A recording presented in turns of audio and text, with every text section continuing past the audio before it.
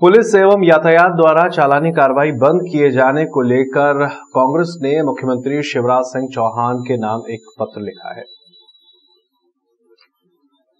इंदौर शहर के कांग्रेस अध्यक्ष विनय बाखलीवाल, पूर्व युवा कांग्रेस अध्यक्ष एवं मध्य प्रदेश राजीव विकास केंद्र के प्रदेश अध्यक्ष देवेंद्र सिंह यादव ने बताया कि कोरोना जैसी बीमारी के कारण लॉकडाउन के दौरान तीन महीने से पहले से ही आम जनता घरों में कैद थी। अब जैसे तैसे अपने कार्यालय, उद्योग, दुकान, व्यवसाय, नौकरी, मजदूरी और रोज़गार के लिए जा रही है। आम लोगों के पास आर्थिक संकट बना हुआ है, साथ ही खाने के लाले पड़े हुए हैं। लोग रोजी रोटी के लिए परेशान हैं। कई आम लोगों पर कर्जा हो गया है और थाने की पुलिस एवं यातायात पुलिस लॉकडाउन के तीन महीने की परेशानी को दरकिनार करते हुए आम जनता की गाड़ियों के पाँच सौ रुपए से लेकर कई अधिक रुपयों के चालान बना रही है।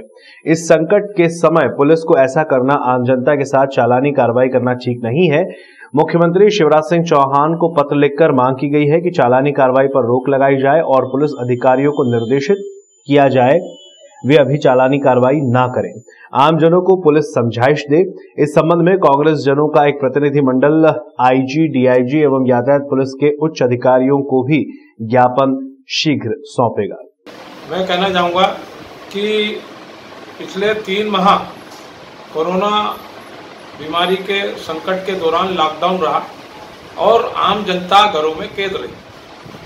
अब आम आदमी चाहे नौकरी करने वाला हो, प्राइवेट नौकरी करने वाला हो, मजदूरी करने वाला हो, दुकान जाने वाला हो, व्यवसाय करने वाला हो, मजदूरी करने वाला हो, वो अपना रोज़गार ढूंढ रहा है और पहले से ही आम आदमी कर्जे में डूब चुका है।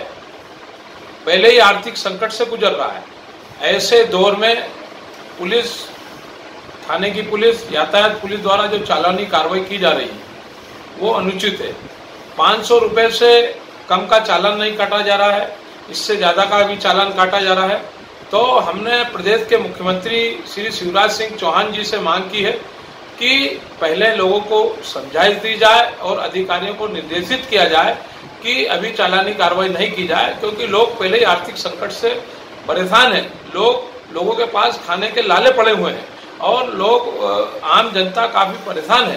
तो इस संबंध में हमने मुख्यमंत्री जी को कांग्रेस जनों ने जो है एक पत्र लिखा है और शीघ्र ही कांग्रेस जनों का एक प्रतिनिधि मंडल, आईजी, डीआईजी और यातायात के उच्च अधिकारियों से शीघ्र मुलाकात करेगा।